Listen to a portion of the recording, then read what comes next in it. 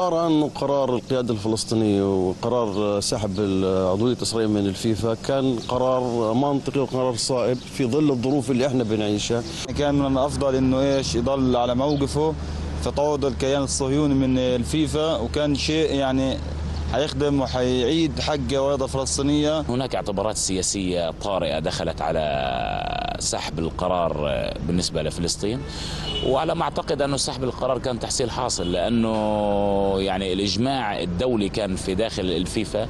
كل الدلائل والمؤشرات كانت تدلل على رفض الطلب الفلسطيني. كان يجب على الاتحاد الفلسطيني منذ البداية أن يعرف أين يضع قدميه وأن يدرس الموضوع بعناية وأن يعني يناقش في قصة النظام نظام الفيفا العالمي. هل نحن نستطيع أن ندعم هذا الطلب ونواصل هذا الطلب.